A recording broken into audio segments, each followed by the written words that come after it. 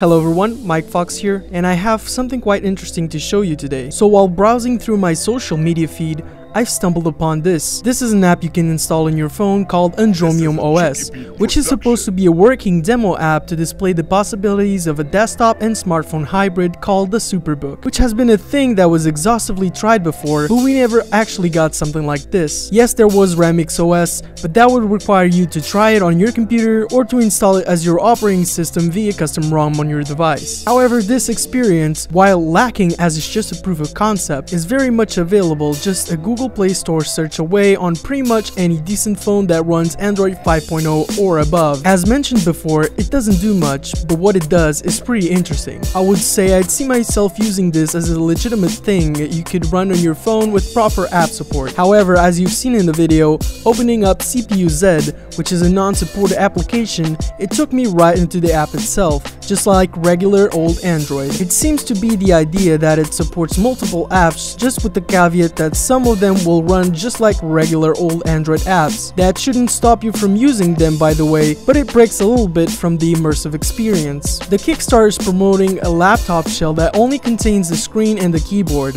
which seems to be powered by an OTG connection to a phone. Just for $99 as they advertise, you can have yourself a more productivity-friendly device by buying this accessory. The link to the app will be in the description as well as the Kickstarter page for the Superbook. Things like these are always interesting to try out. And with Android productivity app support like Microsoft Office and Adobe suite of applications expanding more and more, the future could very well look like this. I hope you enjoyed watching this video and feel free to leave your thoughts down in the comments.